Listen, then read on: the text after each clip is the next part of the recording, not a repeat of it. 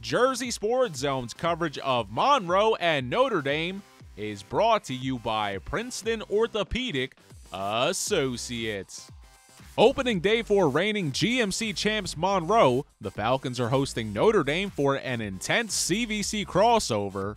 Notre Dame would get on the board first. Christian Updale answers back with a pair of scores to give Monroe a 2 1 lead after the first. Second quarter, all Notre Dame.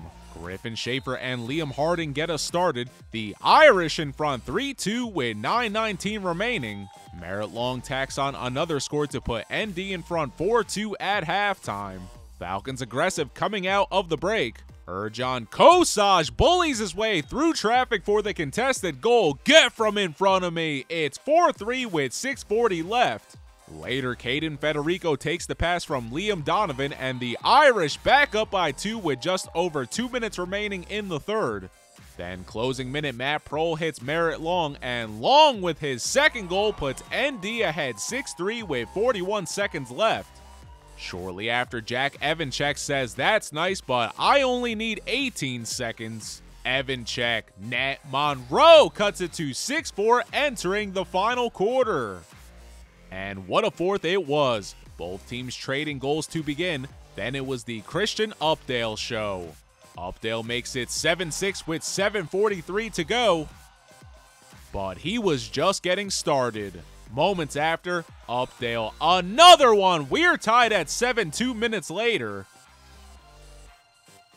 Why stop there? With just under two minutes left in regulation, Christian Updale has himself a fourth quarter hat trick, and more importantly, Monroe takes the lead.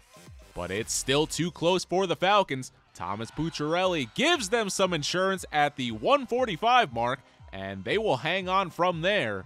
9 7 your final, Monroe beginning the year 1 0.